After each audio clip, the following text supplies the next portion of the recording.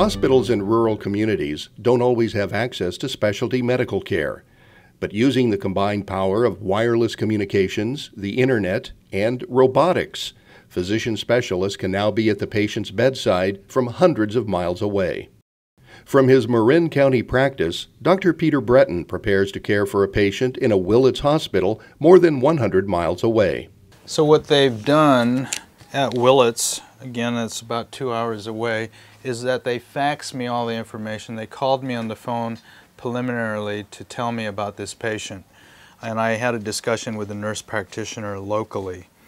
Um, so that enables me to see this patient as if I was there and I could start the urologic workup on a patient in the hospital right now as we speak.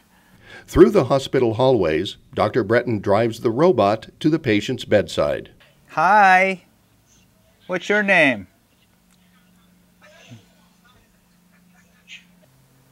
Hi, how you doing? Uh, fine, I'm Dr. Bretan. I'm a urologist. Dr. Bretan can now perform a virtual exam with the patient. So that's what I'm trying to do. Now, sometimes these relaxing medicines relax your blood vessels and make you dizzy. That's a side effect. Well, I'll try to drive out of here. Take care. Bye. Dr. Peter Bretan, delivering life saving care through the eyes of a robot.